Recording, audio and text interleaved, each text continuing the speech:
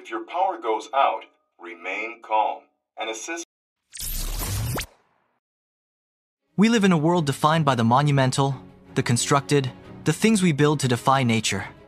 In our next journey, we venture into the most hostile environment on Earth. In this episode on The Unlisted Mysteries, Troll A platform, located in the frigid, relentless waters of the Norwegian North Sea. It is a natural gas platform, but its structure is legendary. Standing 472 meters tall, it is taller than the Eiffel Tower and the Empire State Building.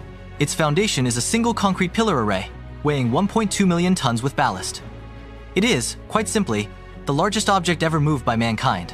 The platform's design demonstrates the limits of modern engineering capabilities and rests on the seabed 303 meters below the surface. To withstand the relentless, multi-directional forces, its four massive concrete legs have walls over one meter thick, made from steel-reinforced concrete poured in one continuous four-year process. Any break in that single pour would risk a catastrophic fissure under the immense pressure of the deep. It is a masterpiece of materials science designed to last for over 70 years. But the ultimate feat was not the building, but the move. In 1995, this 1.2 million ton Goliath was towed over 200 kilometers, balanced by sophisticated ballast systems floating on its own massive buoyancy. This process broadcast live, a global testament to human control required millimeter perfect precision, moving a structure that, if it had failed, could have caused a tremor of massive scale upon striking the seabed.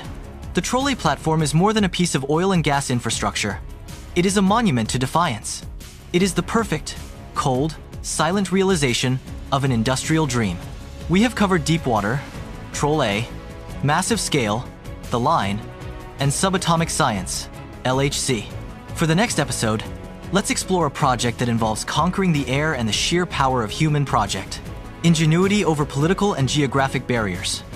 The Hong Kong Zhuhai Macau Bridge, HZMB, the world's longest sea crossing.